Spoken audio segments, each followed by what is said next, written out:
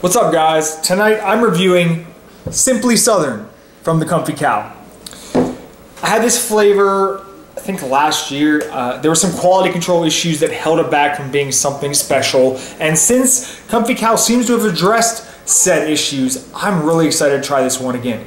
It's a bourbon, uh, vanilla I think, or a bourbon ice cream base with chocolate pecan pie pieces in it.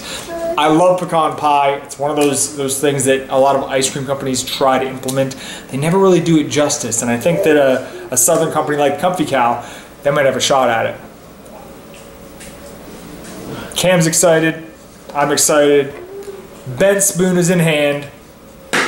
Let's go. First spoonful here, and I can already smell the bourbon, so this one's gonna be pretty boozy, I think. I have no problems with that. There also seems to be, yes, chocolate pecan pie. Here we go. All right. I got some pecans. Got some of that pie crust. It's good. Now remember, like I said, the quality control held it back big time. I really wanted a lot of pecan pie pieces last time I had this flavor. I didn't get that. So it's interesting to see if uh, this one's a little bit different the second time around. We're off to a good start though.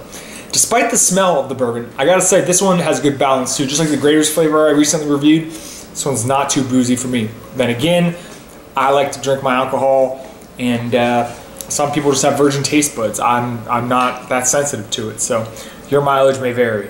I don't want to jinx it, but we are already off to a much better start than we had last time. Look at all the chocolate pieces. They're bigger than they were last time. And look at those pie chunks. That's what we came here for and they're in there. Speak of the devil. Bam, look at that. Mm. I love pecan pie. Here we go. Mm-hmm. No texture issues, no taste issues, just the way it should be. Like I said, lots of mix-ins, chocolate, pecan pie. Can't ask for much more. All right, I think it's pretty safe to say as I eat my, you know, eight or nine pecan pie piece halfway through this pint, that the quality control issues, at least in this flavor, in this pint, have been solved this time around, and I couldn't be happier. This is the flavor that I expected the first time around. It's a shame it took me two tries at it, but hey, better late than never. Well, Comfy Cow, once again, two flavors rescooped, two flavors I enjoyed a whole lot more the second time around.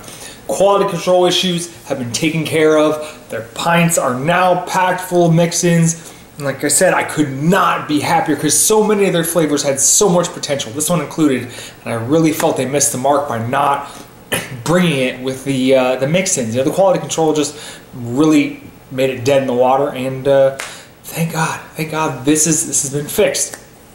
This flavor is great, really enjoyable flavor. I actually had, I think it's better than the last bourbon pecan pie flavor I had from Ben and Jerry's, believe it or not. They have a Texas exclusive bourbon pecan pie flavor, and I think this one is way better than that. We got that uh, that great base. You know, it's just boozy enough for me. You know, it, the lack of booze may be a turn off for some people. It may be a plus. It depends on who you are. But I think the balance was good here. The vanilla came through strong. We got the pecan pie pieces. We got the chocolate chunks. It all works together very well, and uh, I really enjoyed this flavor. I give this one an eight out of 10. Thanks for watching, guys. See you next time.